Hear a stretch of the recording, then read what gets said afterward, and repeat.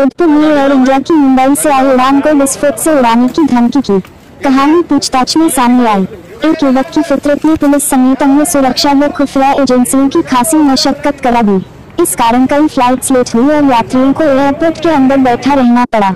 सोमवार को air India की फ़्लाइट मुंबई से जोधपुर पहुँची तो उसमें सवार दिनेश सुथार नाम के एक यात्री ने क्रू मेंबर्स को बताया कि उसकी पिछली सीट पर बैठे लोग आतंकवादी हो सकते हैं। उसने उनको ऐसी कुछ बातचीत करते हुए सुना है। इस पर क्रू मेंबर्स ने पायलट को जानकारी दी। पायलट ने हवाई अड्डे पर सूचना दे दी। सीआईएसएफ के दस्ते ने विमान को घेर लिया और स्थानीय पुलिस के अधिकारी भी हवाई अड्डे पहुँच गए। सुरक्षा एजेंसियों ने सूचना देने वाले युवक दिनेश सुथार समेत छह यात्रियों को अलग ले जाकर पूछताछ की और उनके सामान की भी सघन तलाशी ली। अन्य यात्रियों को भी हवाई अड्डे पर रोक लिया गया। उनके सामान की भी तलाशी ली गई। इस दौरान बम निरोधक दस्ते और स्निफर ड्रग को भी बुला लिया गया। विमान खाली होने के बाद उसकी भी पूरी तलाशी ली गई। इस दौरान पूछताछ में जालौर ज़िले में सायला निवासी दिनेश सुथार ने सच्चाई अधिकारियों को बताई। उसने बताया कि वह मैसूर गया था। उसने वहाँ पंद्रह साल के जसवंत गोंदा की गुमशुदगी की तलाश के पोस्टर लगे देखे। पोस्टर में जसवंत का पता बताने वाले को इनाम की बात भी लिखी हुई थी। इस पर दिनेश सुथार ने पब्लिक टेलीफोन बूथ से जसवंत के पिता अशोक एम को फ़ोन किया और कहा कि, उसे पता है कि जसवंत कहाँ है। अशोक एम दिनेश से मिले तो उसने कहा कि, उसने जसवंत को जोधपुर में एक ब्रह्म कुमारी आश्रम में देखा है। दरअसल दिनेश सुथार का इरादा अशोक एम से कुछ रुपए लूटने का था। अशोक एम दिनेश सुथार के साथ जोधपुर आने को तैयार हो गया। अशोक एम की सूचना पर मैसूर पुलिस के जवान भी साथ हो गए। पुलिस के साथ होने पर दिनेश सुथार को लगा कि वह अशोक एम उनसे रुपए नहीं ले पाएगा। इसलिए विमान के जोधपुर पहुँचने से पहले उसने विमान के क्रू मेंबर्स को कहा कि उसके पीछे की सीटों पर आतंकवादी बैठे हैं। उनको आतंकवादी गतिविधियों के बारे में बातचीत करते हुए उसने सुना है। ये लोग उसे जबरन विमान में साथ लाए हैं। क्रू मेंबर्स ने यह जानकारी पायलट को दी। पायलट ने जोधपुर हवाई अड्डे पर सुरक्षा एजेंसियों को इस बारे में बताया। विमान के उतरते ही सीआईएसएफ के दस्ते ने फ़्लाइट को घेर लिया। बीच जोधपुर पुलिस कमिश्नर समेत अन्य अधिकारी और इंटेलिजेंस एजेंसियाँ भी वहाँ पहुँच गई दिनेश सुथारा शोकी मैसूर पुलिस के दोनों जवानों समेत छह लोगों को अलग ले जाकर गहन पूछताछ की गई और उनके सामान की तलाशी ली गई। अन्य यात्रियों को हवाई अड्डे पर रोककर उनके सामान की भी तलाशी ली गई। इस दौरान उत्तरी दूसरी फ्लाइट्स को भी हवाई पट्टी पर ही रोक दिया गया। उनके यात्री भी विमान से नहीं उतर पाए। पुलिस और अन्य एजेंसियों की पूछताछ में दिनेश सुथार ने कबूल किया कि उसने अशोक से रुपए ऐंठने के लिए यह साजिश रची थी। पुलिस ने उन सभी को गिरफ़्तार कर थाना लेकर गए जिन्हा पुलिस करेगी जाँच। सोना न्यूज़ जोधपुर से जो गाराम रानावत की रिपोर्ट।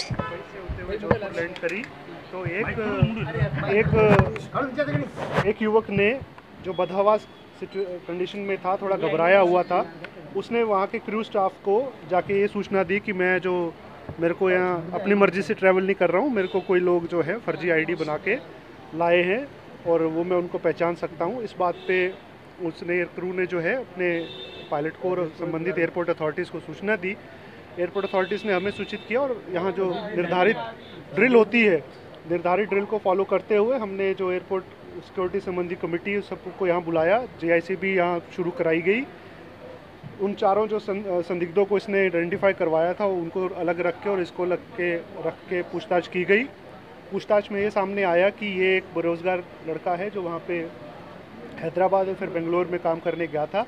वहाँ इसको काम नहीं मिला, ये तलाश में था। इसने एक वहाँ गुमशुदगी की मुश्तहरी जो इश्तहार होता है वो देखा। एक लड़का जो है, पंद्रह एक साल का वहाँ गुम था। वहाँ कृष्णराज नगर मैसूर में उसकी, उसका मुकदमा दर्ज है, नाबालिग होने की वजह से।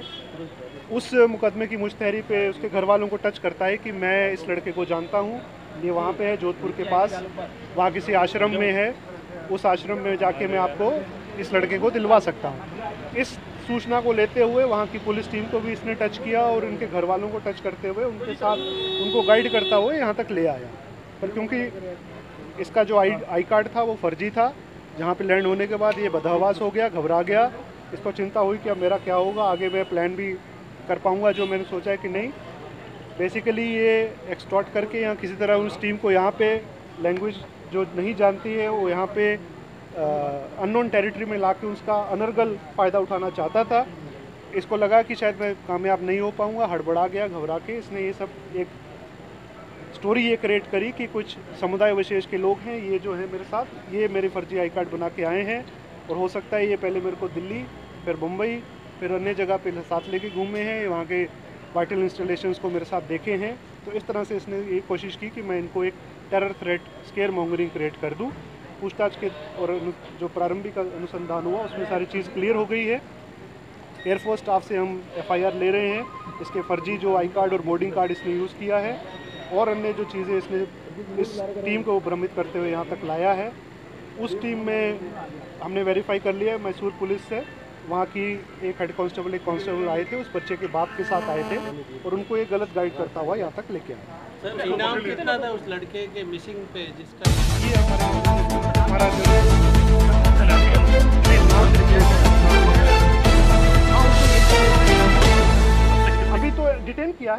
उसको हम एफआईआर सर उसका दर्ज कर रहे हैं। उसका अलग अलग नाम आ रहे हैं अभी वेरीफाई कर रहे हैं। है ना? तो आपको जो मूल सूचना थी हमने दे दी। शाम तक आपको आप एस एच ओ या एसीपी से अन्य सूचना ले सकते